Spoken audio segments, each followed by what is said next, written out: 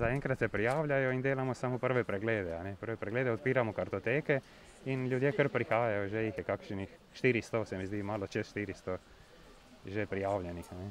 Gotovo pa bomo rekli, da se pa že pozna, da so že veseli, verjetno, da, da je spet zobozdravnik tu v, ja, v Kongu. Drži, od marsikaterega slišimo, veseli smo, da vas spet imamo, to drži.